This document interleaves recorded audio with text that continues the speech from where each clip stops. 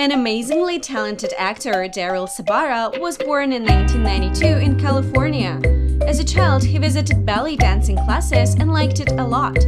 Then he was noticed by film producers who invited a future starlet for the first in his life professional shooting. He appeared in a number of projects, to name just a few Spy Kids, After the Dark, April Showers, World's Greatest Dad, and so many others. Also interesting to know that Sabara is extremely good at being a voice actor. For instance, you can hear his voice in Finding Nemo, Christmas Carol, etc.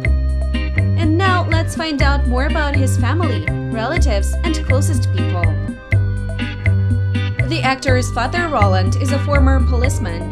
He was sentenced twice in his life and underwent a treatment for alcoholism. Looks like Daryl is not close with Dad at all as there are no common pictures and the celebrity never even talks about him. The mother, Sandra, works in the social industry. Unlike Roland, she is very close with Daryl and is proud of all his achievements. Additionally to that, the actor himself loves mom a lot, dedicating her poems. The family also included maternal grandparents named Edward and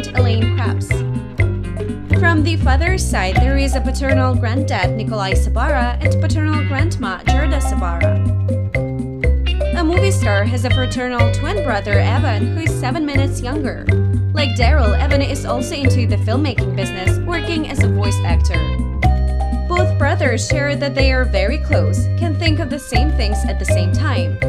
Moreover, they like spending time together and often share pictures on social media. That is all. Don't forget to subscribe to our channel.